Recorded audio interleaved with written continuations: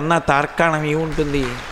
కాబట్టి శ్రావణ మాసంలో పుట్టాడు. ఎందుకు పుట్టాలి శ్రావణ మాసంలో? అంటే శ్రావణ మాసం వర్ష ఋతువు వర్ష ఋతువైనటువంటి కారణం చేత నల్ల మబ్బులు కిందకి దిగిపోతాయి. కిందకి దిగిపోతే చీకటి. అసలే చీకటి. అందున బహుళపక్షం.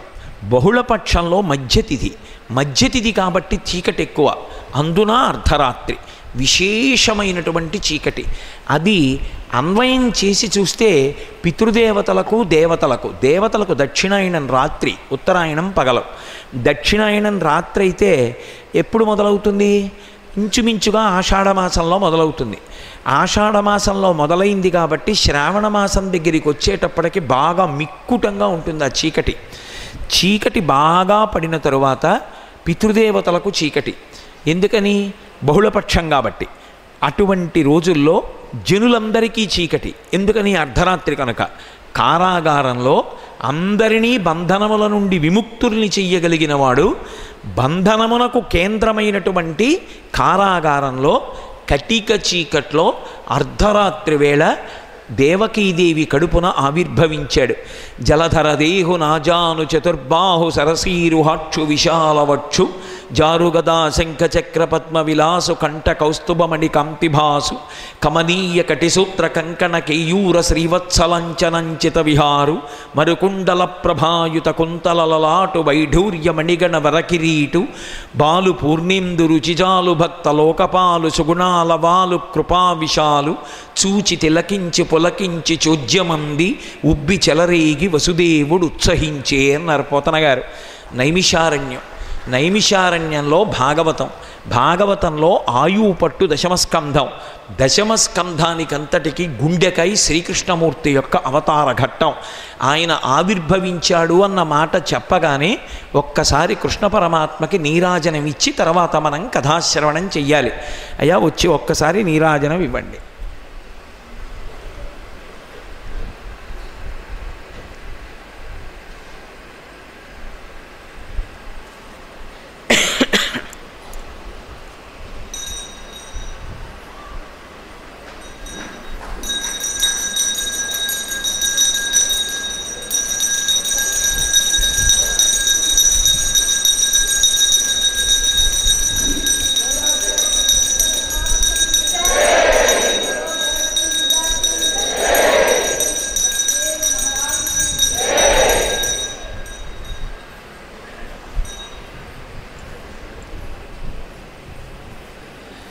జలధర రేహు నాజాను చతుర్బాహు సరసీరుహాక్షు విశాలవక్షు జారు గదా శంఖచక్ర పద్మ విలాసు కంఠ కౌస్తుభమణి కాంతిభాను కమనీయ కటిసూత్ర కంకణ కేయూర శ్రీవత్సలంచనంచిత విహారు మరుకుండల ప్రభాయుత కుంతలలలాటు వైఢూర్య మణిగణ వరకిరీటు బాలు పూర్ణేందు రుచిజాలు భక్త లోకపాలు సుగుణాల వాలు కృపా విశాలు చూచి తిలకించి పులకించి చోద్యమంది ఉబ్బి చెలరేగి వసుదేవుడు ఉత్సహించే అన్నారు పోతన గారు. మహానుభావుడు పరిపూర్ణావతారంగా ఆవిర్భవించినప్పుడు జలధరదేహు నీటితో నిండినటువంటి నల్లటి మబ్బె ఎలా ఉంటుందో అటువంటి రూపంతో జలధరదేహు నాజాను చతుర్బాహు ఆజానుబాహువులైనటువంటి నాలుగు భుజములతో శంఖచక్రగదా పద్మములను పట్టుకున్నవాడై పుండరీకాక్షుడై శ్రీవత్సమనేటటువంటి పుట్టుమచ్చతోటి కౌస్తుభమనేటటువంటి ఆ మణి ప్రకాశిస్తుండగా మెడలో వనమాల వేసుకుని శంఖచక్ర గదా పద్మములను పట్టుకున్నవాడై ఆ దివ్యమైనటువంటి అందెలతోటి మెడలో అనేకమైనటువంటి హారములతో చేతులకు వేసుకున్నటువంటి కంకణములతో మెల ఆ మొలకి పెట్టుకున్నటువంటి బంగారు మొలత్రాటితో మహానుభావుడు కోటి సూర్యుల పగిది వెలిగిపోతూ దేవకీ దేవులకి దర్శనమిచ్చాడు. బాలు పూర్ణిందురుచిజాలు భక్తలోకపాలు సుగుణాలవాలు కృపావిషాలు చూచి తిలకించి పులకించి చోద్యమంది ఉబ్బి చెలరేగి వసుదేవుడు ఉత్సహించే. ఆ పిల్లవాణ్ణి చూసి అబ్బా ఏకంగా శ్రీమన్నారాయణుడు నా కడుపున కుమారుడుగా జన్మించాడు. ఆనందపడిపోయి ఎక్కడైనా ఓ కొడుకు పుడితే ఆ కొడుకు తల్లిదండ్రులకు నమస్కారం చేయడం అన్నది ఉంటుంది పెద్దయ్యాక. కానీ పుట్టినటువంటి పిల్లవాడికి దేవకీ వసుదేవులు ఇద్దరూ రెండు చేతులెత్తి నమస్కరించి ప్రార్థన చేస్తున్నారు. సర్వము నీలోనిదిగా సర్వాత్ముడవాత్మవస్తు సంపన్నుడవై సర్వమయుడవగు నీకును. సర్వేశ్వర లీవులోను సంధులు వెలయన్. ఈశ్వర అంతటా మీరే నిండి ఉంటారు. మీరు కానిది మీరు లేనిది వేరొక పదార్థం లేదు. అటువంటి మీరు ఇవాళ ఒక పసిపిల్లవాడిగా రూపాంతరం చెంది నా కడుపున ఇన్ని నెలలు ఉండి బయటికొచ్చి మమ్మల్ని తల్లి తండ్రి అనబడేటటువంటి కీర్తిని మాకు కటాక్షించారు. మీకు అనేకానేకమైనటువంటి నమోవాక్కములని తల్లిదండ్రులైనటువంటి దేవకీ వసుదేవులు కీర్తించారు.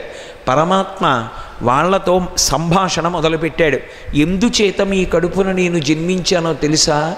స్వయంభూ మన్వంతరంలో ఈమె పేరు పృష్ణి ఓ వసుదేవుడా నీ పేరు సుతపుడు.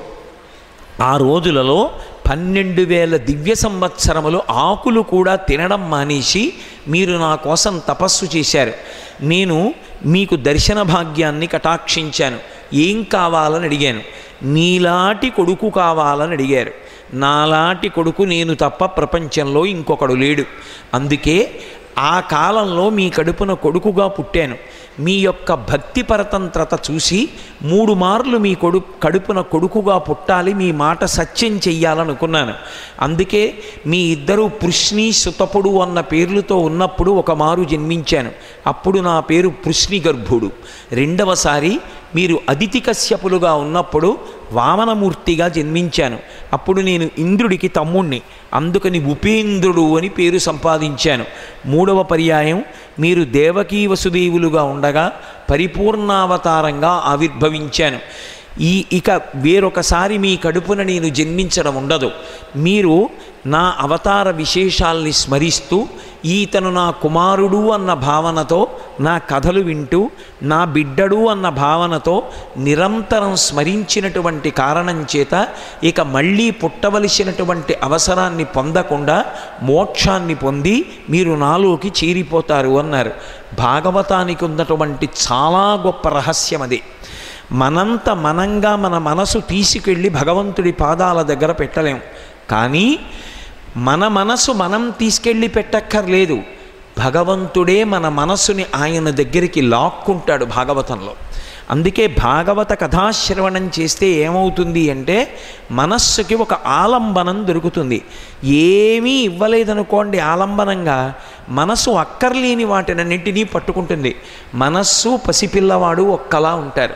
పసిపిల్లవాడికి తల్లి ఏమీ ఇవ్వలేదనుకోండి వాడు కత్తెరో కత్తో అటువంటి పదునైనవి తీసి తెలియక ఆడుకుని చేతులు కాళ్ళు తెగకోసుకుంటాడు అదే అమ్మ వాడికి క్షేమకరమైనటువంటి ఓ పువ్వో ఓ కాయో ఓ పండో ఇచ్చిందనుకోండి దాంతో కొంతసేపు ఆడుకుంటాడు. ఆ అమ్మ నన్ను ఏమార్చిందని కాసేపు ఆగి ఏడుస్తాడు. మళ్ళీ అమ్మ తీసుకొచ్చో వెలక్కాయ ఇచ్చిందనుకోండి దాన్ని చేత్తో పట్టుకుంటాడు కింద పడేస్తాడు మీద పడతాడు తాకుతాడు దాని వెంట పడతాడు దాని నిండా చొంగ కారుస్తాడు నోట్లో పెట్టుకుంటాడు ఏమవదు కాసేపు ఆగి మళ్ళీ ఏడుస్తాడు. అమ్మ తీసుకెళ్ళి కాస్త బొవ్వ పెట్టి పడుకోబెడుతుంది. వాడికి ఏదో ఒక క్షేమకరమైన వస్తువు ఇస్తే దానితో ఆడుకుంటాడు. ఆ వస్తువు ఇవ్వకపోతే ప్రమాదం సంభవిస్తుంది. మనసుకి అత్యంత క్షేమకరమైనటువంటి ఆలంబనం ఏది అంటే శ్రీమద్భాగవతం. శ్రీమద్భాగవతం ప్రత్యేకించి దశమస్కంధాన్ని వింటుంటే మన ప్రమేయం లేకుండా మన మనసు కృష్ణ భగవానుడి యొక్క పాదముల దగ్గరికి వెళ్ళిపోతుంది. అందుచేతనే నన్ను స్మరించినటువంటి కారణం చేత ఇక మీరు మళ్ళీ పుట్టకుండా మోక్షస్థితిని పొందగలరు అని కృష్ణ భగవానుడు ఆ దేవకీ వసుదేవులిద్దరికీ కూడా వరం ఇచ్చాడు ఆ తరువాత మళ్ళీ ప్రాకృతమైనటువంటి పిల్లవాడిగా ఒక చంటి పిల్లవాడిగా మారిపోయాడు. అనేకమైన లీలలు చూపించాడు. ఆ పిల్లవాడి యొక్క మనసులో చేసినటువంటి సంకల్పములు తన ఎందు ప్రచోదనమైనటువంటి వసుదేవుడు ఆ పిల్లవాడిని తీసుకుని తన గుండెల మీద పడుకోబెట్టుకున్నాడు. తల మీద పడుకోబెట్టుకున్నాడు అని తెలుగు భాగవతంలో లేదు. అందుకని నేను తెలుగు భాగవతంగానే చెప్తున్నాను. గుండెల మీద పడుకోబెట్టుకుని భగవంతుని యొక్క ఆజ్ఞ వసుదేవుని ఎందు ప్రచోదనమైంది. ప్రచోదనమై బయలుదేరాడు. ఎప్పుడైతే కృష్ణ భగవానుణ్ణి గుండెల మీద పడుకోబెట్టుకుని వసుదేవుడు బయలుదేరాడో వెంటనే ఆ కారాగారం యొక్క తలుపులకు వేసినటువంటి ఇనప గొలుసులు తమంత తాము ఊడిపోయాయి. ఆ వేసినటువంటి తాళం కప్పలు తమంత తాము ఊడిపోయాయి తలుపులు తెరుచుకున్నాయి. అక్కడ పహరా పెట్టినటువంటి సైన్యం అంతా గాఢమైనటువంటి నిద్రలోకి వెళ్ళిపోయారు. ఆ చిన్ని కృష్ణుణ్ణి తీసుకుని వసుదేవుడు వెడుతుంటే పైనుంచి వాన చినుకులు పడుతున్నాయి. ఆదిశేషుడు కృష్ణ పరమాత్మ తడవకుండా తన పడగలు పట్టి వెనక తలుపులు మూసుకుంటూ వస్తున్నాడు. తిన్నగా బయలుదేరి యమునా నది దగ్గరికి వెళ్ళాడు వసుదేవుడు. అర్ధరాత్రి విపరీతమైనటువంటి ప్రవాహంతో ప్రవహిస్తోంది యమున. ఒక్కసారి కృష్ణుణ్ణి పట్టుకున్నటువంటి వసుదేవుడు యమున వంక చూశాడు. ఆశౌరికి తెరవసగను ప్రకాశోద్ధుత తుంగ భంగ కలిత ధరా సాకాశయగు యమున మును సీతేశునకు పయోధి త్రోవ ఇచ్చిన భంగిన్ అన్నారు. ఒకప్పుడు రామచంద్రమూర్తికి సముద్రం ఎలా త్రోవ విడిచిపెట్టేసిందో సేతు నిర్మాణం చేసి ఆవలి ఒడ్డుకి వెళ్ళాడో అలా కృష్ణ పరమాత్మని పట్టుకుని వెడుతున్నటువంటి వసుదేవుడికి యమునా నది త్రోవ విడిచిపెట్టేసింది. ఆ యమునా నదిని దాటి ఆవలి ఒడ్డుకి వెడితే నందవ్రజం ఉంటుంది. ఆ నందవ్రజంలో యశోదాదేవికి అప్పుడే జన్మించింది యోగమాయ. కానీ ఆడపిల్ల పుట్టిందన్న విషయం ప్రసవించినటువంటి యశోదకి తెలియదు ఆ చుట్టుపక్కల ఉన్న వాళ్ళకి తెలియదు. ఆవిడ గాఢ నిద్రలో ఉంది. అసలే ఆవిడ యోగమాయ. తీసుకెళ్ళాడు. ఈ పిల్లవాణ్ణి యశోద పక్కన పడుకోబెట్టాడు. ఆ పిల్లని తీసుకున్నాడు. గుండెల మీద వేసుకున్నాడు. మళ్ళీ తిరిగి వచ్చాడు నారాయణ నారాయణి ఇద్దరు అభేదం. మళ్ళీ యమున త్రోవిచ్చేసింది. ఆ యమున దాటి ఈవలకు వచ్చాడు అంతఃపురంలోకి ప్రవేశించాడు. ఒక్కొక్క కక్ష్య దాటుకుంటూ వచ్చేస్తున్నాడు. తిన్నగా కారాగారం దగ్గరికి వెళ్ళాడు లోపలికి వెళ్ళాడు ఆడపిల్లని తీసుకెళ్ళి దేవకీదేవి దగ్గర పడుకోబెట్టాడు. మళ్ళీ తలుపులన్నీ మూసుకున్నాయి. ఇనప గొలుసులు పడిపోయాయి. తాళం కప్పలు పడిపోయాయి. తాను వచ్చి కూర్చున్నాడు. బంధనములు మాత్రం తనని తగులుకోలేదు. ఆ ఇనప గొలుసులు మాత్రం ఊడిపోయిన అలాగే ఉండిపోయాయి.